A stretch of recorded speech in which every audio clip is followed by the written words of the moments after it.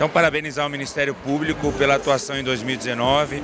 Faço isso em nome do presidente da Associação do Ministério Público, que é o Paulo Penteado, e que ampliou muito o diálogo com todos os poderes, em todos os entes, federal, estadual e também municipal. Então, até nesse sentido, nós da Câmara Municipal e a Prefeitura nos sentimos prestigiados, porque ampliou o diálogo e a contribuição do MP nos nossos trabalhos foi muito importante na elaboração dos projetos, não só nos projetos conjuntos, mas naqueles textos que vão também estabelecer as leis para a cidade de São Paulo. Então fico muito feliz e eu acredito que 2019 essa interlocução, essa sinergia tende só a aumentar.